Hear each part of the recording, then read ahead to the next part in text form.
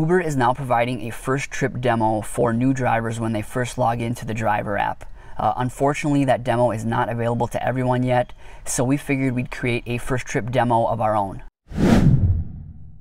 And real quick, for those of you that haven't signed up to drive for Uber yet, uh, you can sign up using our referral link and you'll earn a bonus after a certain amount of rides you've completed and that link will be in the description. All right, so in a minute we're gonna show you the first trip demo, but first we're gonna go over some tips. Um, a lot of you are probably newer drivers and are a little nervous before taking your, your first trip as a lot of us were. The first thing we do recommend is to take a ride as a passenger. Um, that way you can kind of get a feel for what it's like as a passenger getting a ride. You can also see how other drivers operate. And also when you decide to log in and drive for the first time, we recommend that you do it in an area that you're familiar with during a weekday when it's a little less busy so you're not a little so you're not overwhelmed by the demand. And lastly, you want to make sure that your phone is hands-free, so you're going to want to get a phone mount for your phone. Okay, so the driver app itself is pretty intuitive for the most part, but it's always good to be prepared.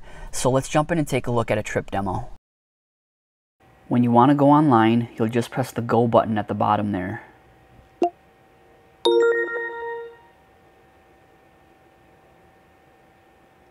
Alright, so we're now online waiting for trips. Looks like we got a request. And you'll see here you have the option to decline the ride if you'd like, and that's at the very top. And in order to accept the ride, you'll just tap the box at the bottom there. If you'd like to contact the passenger, you'll just slide up the box at the bottom there. Select that phone icon on the bottom left. Here you can send the passenger a message. There's a few preloaded messages that you can send or you can type something manually. If you'd like to call the passenger, you just select that top right phone icon. And here you have a couple different options to call the passenger. We'll back out of there by pressing the X. Alright, next we'll navigate to the passenger. In order to initiate navigation, you'll just select that navigate arrow at the bottom right there.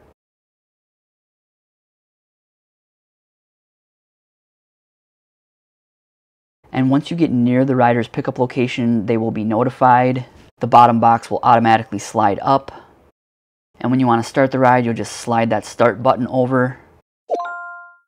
And to navigate to the passenger's destination, again, you'll just select that bottom right navigation arrow.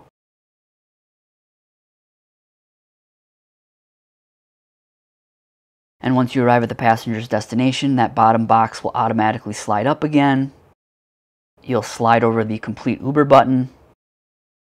The ride is complete and you will now have the option to rate the rider.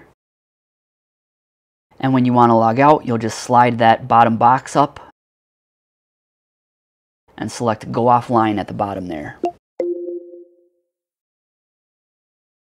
So there it is, pretty straightforward, pretty simple. Um, and if you would like a more detailed look at the driver app, you can watch our how to use the Uber driver app video and this link will be in the description. And the simulated trip demo that Uber will be providing in the, the driver app should hopefully be available to all drivers soon. And we're told that that, that demo will, will autoplay every time a new driver logs into the driver app for the first time. And again, for those of you that haven't signed up to drive yet for Uber, you can use our referral link and that is in the description. Um, for those of you that haven't completed your first trip yet, good luck. Hopefully this video helped you. Um, if you haven't subscribed to the Rideshare Guy channel, please subscribe. We post new videos every single week. Uh, thanks again for watching and drive safe. Thanks.